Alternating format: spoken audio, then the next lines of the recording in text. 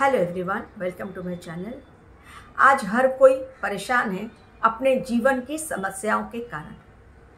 इसके छुटकारा पाने के लिए, यानी अपने जीवन की समस्याओं से छुटकारा पाने के लिए, आज सभी लोग मोक्ष की तलाश में भटक रहे हैं। हर एक को कहना है और हर एक का कहना है, हमें मोक्ष चाहिए। मोक्ष का अर्थ क्या होता है, आपको भी पता होगा।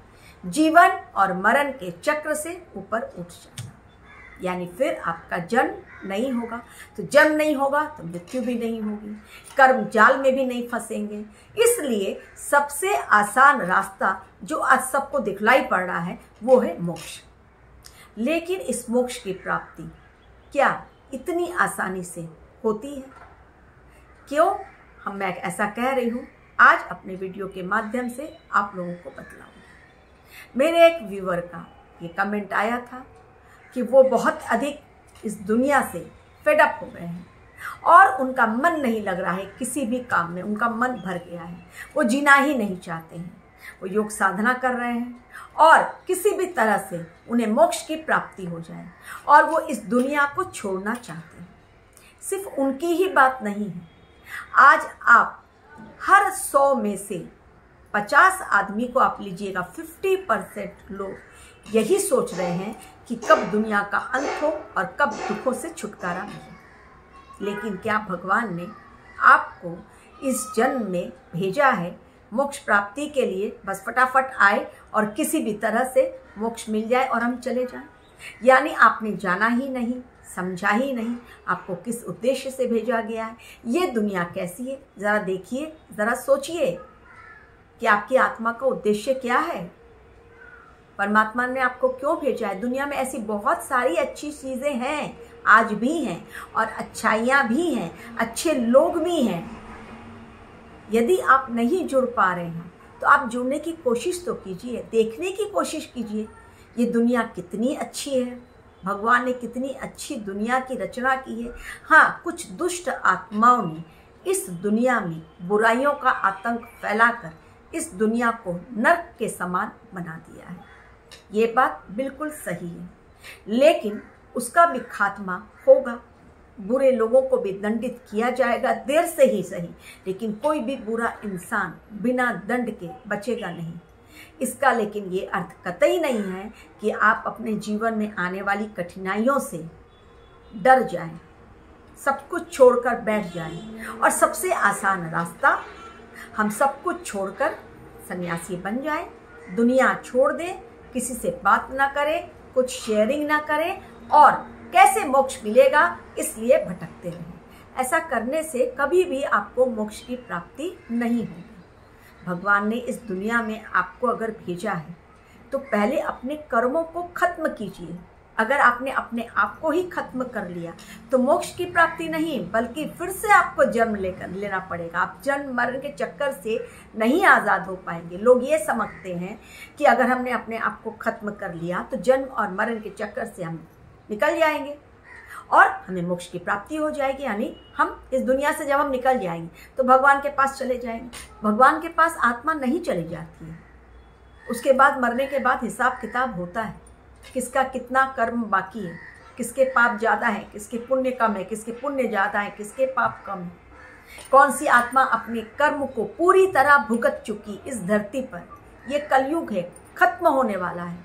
तो कलयुग के खत्म होने पर हर आत्मा का हिसाब किताब जब तक ईश्वर के द्वारा नहीं होगा, तब तक मोक्ष की प्राप्ति कैसे होगी?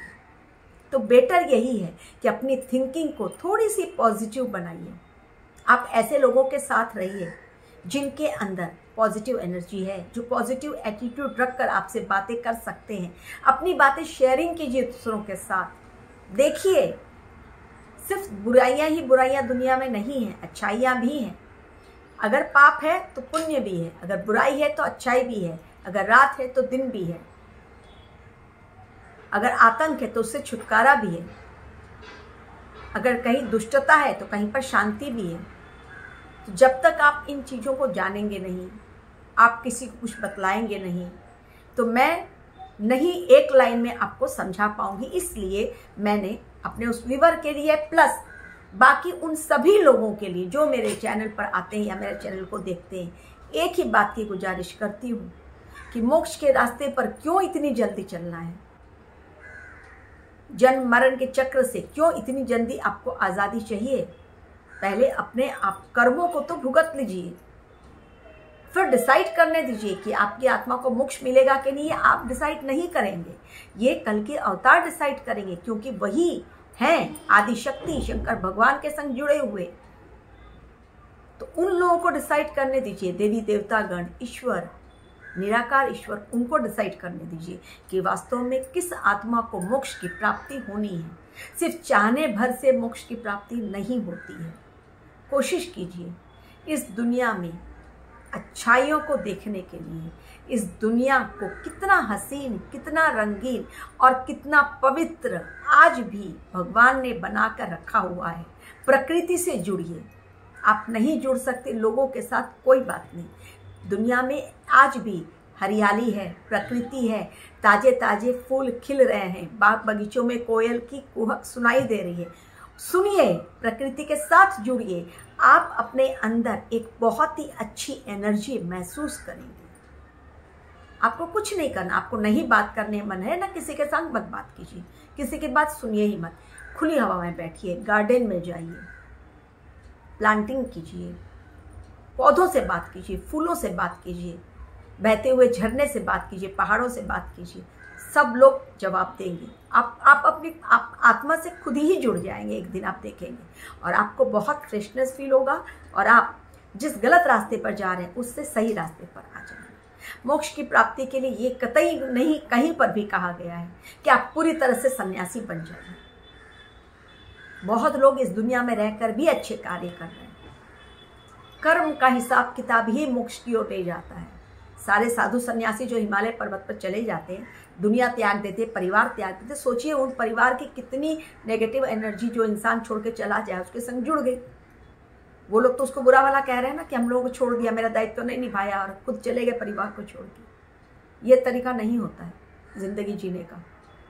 रहिए इस दुनिया में, हर चीज़ को फेस कीजिए, मजबूती के साथ खड़े होइए और तब ईश्वर चाहेंगे तो डेफिनेटली आपको भी सही राह पर ले जाकर मोक्ष की प्राप्ति होगी। Thank you very much for watching